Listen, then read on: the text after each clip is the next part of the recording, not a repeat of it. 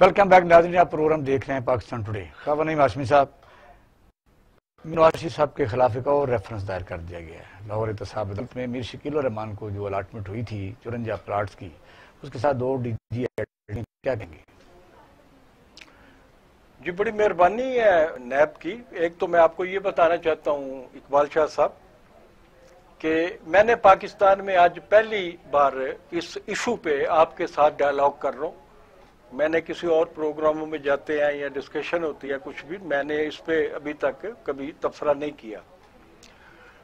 और ये तबसरा एक मैं अगर किया है तो कैनेडा के एक टेलीविज़न पे इस पे मैंने थोड़ी सी बात की थी जब ये इनकी ज़रिया रास्त थी।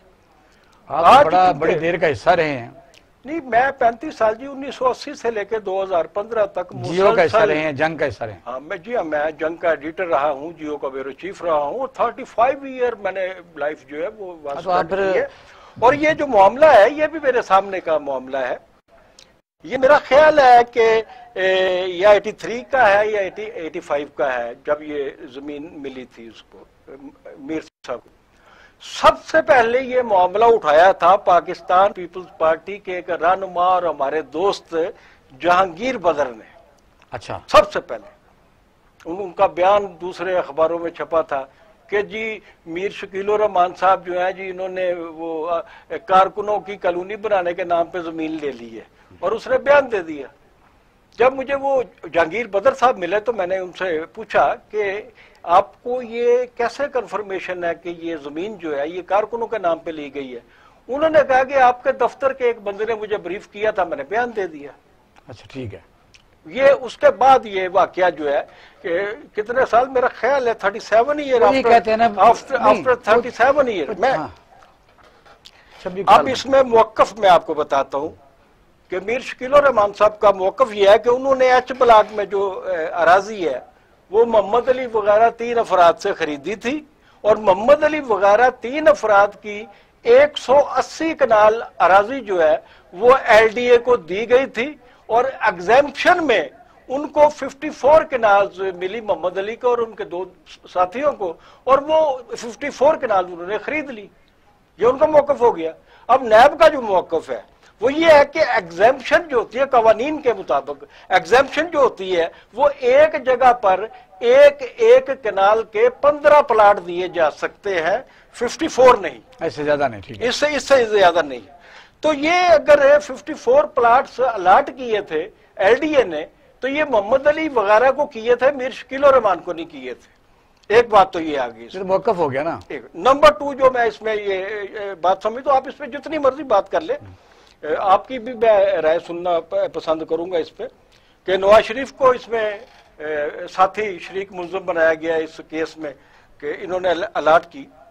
इस फैसले के बाद मैं इस सोच में पड़ गया कि अगर जंग अखबार 1980 में निकला है और ये तीन चार साल के बाद इतनी बड़ा नवाज़ शरीफ ने जो उस वक्त वज़ीर अला पंजाब थे उन्होंने बुलाइज कर दिया मीर शकील रहमान को।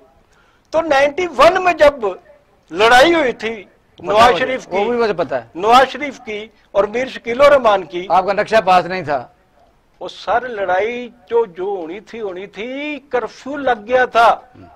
डेवस रोड पे कर्फ्यू लगा था पूरे डेवस रोड पे कोई शहरी नहीं गुजर सकता था। जंग अखबार के जो मुलाजमीन थे जो अंदर थे वो कई दिन तक अंदर रहे। मैं अपने एक दोस्त का नाम लूँगा गवाही के तौर पे यहाँ आपको कि कागज़ भी अंदर का खत्म हो गया।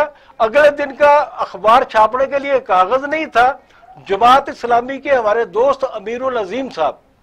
अमीरुल अजीम साहब अपनी यहाँ बगल में रख के कुछ कागज़ लेके आए तो अगले दिन का एक सफे का अखबार छपा था। तो, तो मैं ये सवाल करता हूँ मैं ये सवाल करता हूँ कि जब नवाज़ शरीफ और मीर शकील रहमान की यहाँ तक लड़ाई शुरू हो गई थी तो नवाज़ शरीफ को क्यों याद नहीं आया कि उसने मीर शकील रहमान को अप्लाई नहीं वो तो आपके आपने जो बयान किया ज़ाहिर आप रिटर्न है लेकिन मैं भी आपको बात बताता हूँ इस तरह नहीं है। इस तरह इसलिए नहीं है कि जब रेफरेंस बनता है इंक्वायरी होती है तो डॉक्यूमेंटेड होती है जुबानी बातें नहीं होती। बस समरी एक सवाल का जवाब देते सिर्फ़ एक सवाल का। हाँ। एक सवाल फिर उसके बाद जितना मर्ज़ी ये मिसकंडक्ट हुआ। मीर शकील और मान पे इल्ज़ाम आया। नैब ने किया। मिसकंडक्ट नहीं है ये। ये बकायदा मेलाफाडी टेंशन है। जो मर्ज़ी उसको कह लिया आप। आपका जो दिल करते हो एक आप कहें जी जुर्म हुआ। हाँ जुर्म है। ठीक है जी जुर्म हुआ। हाँ। नैब को बने हुए कितने साल हो गए? और इस ज़रूरी के सारा मुल्क इस तरह कहेगा जी सब इसका मतलब अगर आज वो केस डिस्कवर होता है अगर ये पता चलता ये तो कोई बात नहीं। अगर आज केस नहीं, इस- खबर नहीं, ये बात मैं इसमें इसमें सियासी मुदाखलत नज़र आती है। नहीं ये सियासी किस कौन सा सियासी है वो? ये भी मैं जानता हूँ। नहीं ये कौन सा ये भी मैं जानता भाई मैं बताता हूँ सूरत हाल पता है एलडी के एग्जाम्पशन की मीर रहमान जो है वो बात उस तरफ़ अब हम नहीं लेके जा रहे। उस तरफ़ हम बात नहीं लेके जा रहे। ये। अगर अगर तो वो कहता है कि मुझे- वहाँ कॉलोनी बनानी तो थी। फिर जब वो कहते हैं कि वहाँ कॉलोनी बनानी थी तो नहीं बनी। आपने ये भी कहा। फिर यह है कि जब हुई तो इस तरह- कहा। मैंने आपको कहा कि जहांगीर बदर ने कहा कि आपके दफ्तर के एक आदमी ने जो जंग में यूनियन बनाना चाहता था उस आदमी ने जहांगीर बदर को यह बात कही और उसने बयान दे दिया।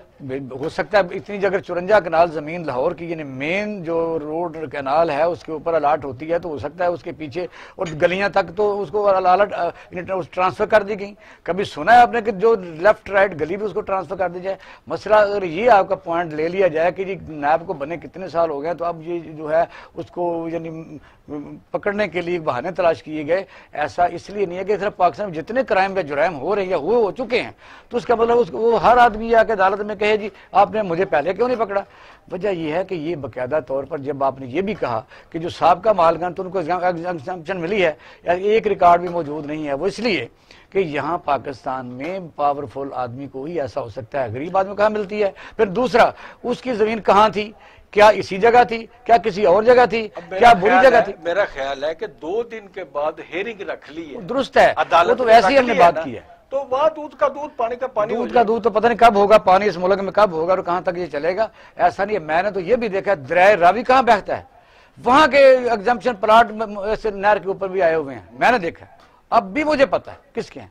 वजह यह है कि एलडीए में ये मैंने ये भी देखा कि एक ऐसे स्पीकर थे नेशनल असम्बली के जिनको दो कनाल का जब समरी पेश हुई मुझे दे दिया जाए मेरे घर नहीं है लाहौर में मैं तो बाईस कनाल दे दी गई मैं आपकी इस बात से तो कति तौर पे सौ फ़ीसद इतफाक करता हूँ कि पाकिस्तान में एल डी ए करप्शन का सबसे बड़ा अदारा है। ये मैंने आपको कह साहब का ठीक कई जो चीफ सेक्रेटरी। केस जो है ये केस जो है इसकी प्रोसीडिंग शुरू हो रही है दो दिन के है बाद। हम। इस पर बात करते रहे। ओके। दूसरा यह कि साहब का कई डीजी ऐसे हैं जो चीफ सेक्रेटरी बन चुके हैं मेरा उनसे मिलना जुलना है। उन्होंने खुद कहा जी हमने अपने बेटों को बेटियों को औलाद को लोगों को दोस्तों का ज़िंदगी में कभी इस एल डी ए के दरमियान ना कोई प्लाट खरीदना कहीं और स्कीम इतनी कॉम्प्लिकेशन हैं। आदमी तो डर जाता है आपने देखा कौन सा जी बाईलात हाँ, और इस हुकूमत ने भी कोई रिफॉर्म नहीं किया। पूरा जौहर टॉप जो है। इसने कोई रिफॉर्म इस गवर्नमेंट ने नहीं किया कि लैंड रेवेन्यू एक्ट में सिम, सिंग, सिंपल बात है। अगर you have the ownership in kind of मतलब रजिस्ट्री है गिफ्ट है फर्द है तो आप you should go to the sub registrar and then यानी देने और देने वाला सामने सामने होकर उसको दे दी अंग्रेज़ कानून बना के गया। लेकिन यहाँ आपकी उम्र गुजर जाएगी आगे चलते हैं उसको छोड़ देते हैं। अब ये है कि खावन वाशिम साहब की ही अजीम इंसान, जमात इस्लामी के साथ अमीर सैयद मुनवर हसन साहब। को याद ना करें तो फिर ये मैं समझता हूँ कि ये भी एक अहम, अहद शाह साद शख्सियत थी सैयद मुनवर हसन